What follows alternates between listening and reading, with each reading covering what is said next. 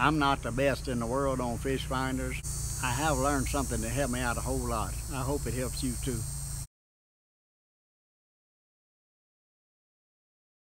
My fish finder's an old model. You got to push the buttons. I don't have one of these touch screens. Boy, they are nice though.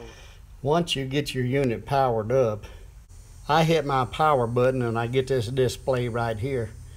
There's a button there for stop sonar, so we're going to select that. You see that orange thing come on. Now your transducer is no longer pinging, and so it won't overheat, and you can play with it all you want to while it's out of the water.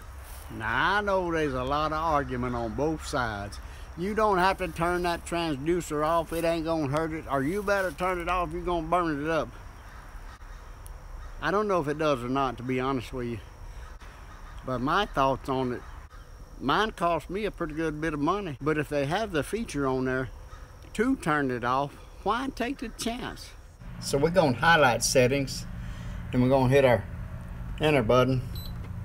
Now it's gonna give us a whole bunch of options, and if you look right down in the bottom left, there's a simulator. So we're going to go down to simulator. We're going to enter into that. And now it highlighted turn on retail mode. A lot of people say do not, whatever you do, do not turn on retail mode because you can't get out of it. But it's not that hard. So we're going to go into that. Now save. We're going to save it. Now that the demo's on, the fun begins. Start mashing buttons and just see what you can find out. Play with your unit. See, we got charts, sonar, side scan, down scan, add pages and stuff. Golly, you can play a lot just on that screen right there, but you're not going to learn it unless you start mashing buttons.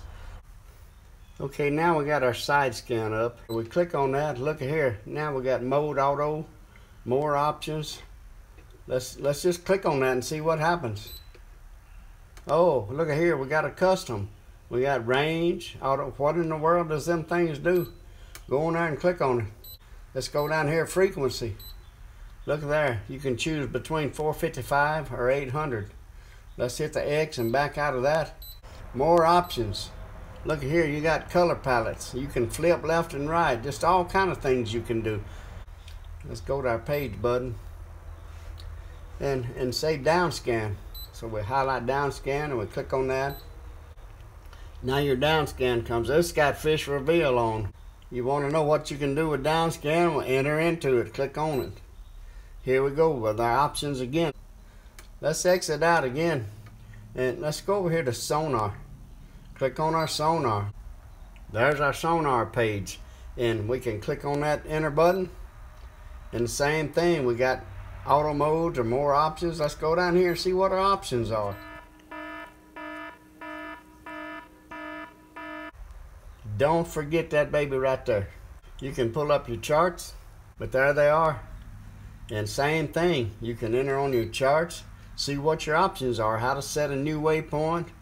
You can go down here and enter find, you know, charted items or coordinates, find by your coordinates or whatever. Let's hit the X and back out.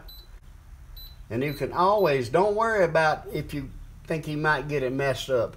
And it's not going to affect it when you put it back in the operating mode.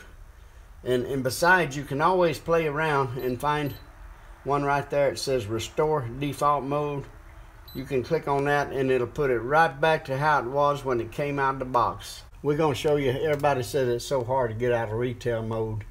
We're going to hit the pages button or you could hit the power button. We need to get in settings. So I'm going to go up to settings. Now I'm going to go back down to simulator. Now exit retail mode is highlighted. So hit that. And this is maybe where people get confused. You got to highlight over here. Exit retail mode. Boom. Okay. We've stopped the demo. That's all there are to it. If that stop sonar, see, has got that bar on it, when you get in the water, it ain't gonna work. So don't forget to turn that thing off. What got me to thinking about all this was, one time I got up with a friend. We took two boats. He went one way and I went the other.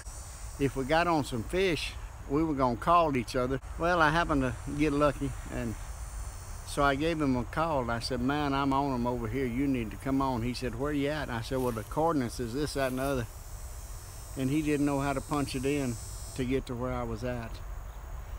And the bad thing about it, he had a big old nice 12 inch unit with touch screen and everything.